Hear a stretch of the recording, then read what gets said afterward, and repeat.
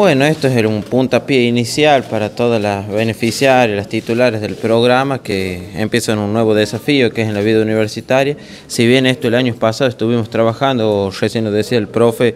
con el rector Fabián Calderón que puso todo un equipo a, disposición donde se realizaron cinco clases de nivelación para todas las titulares del programa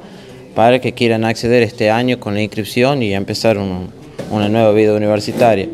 Ahora este, esto es un, es un primer acto formal en donde como unidad ejecutora nosotros ponemos todas nuestras herramientas a disposición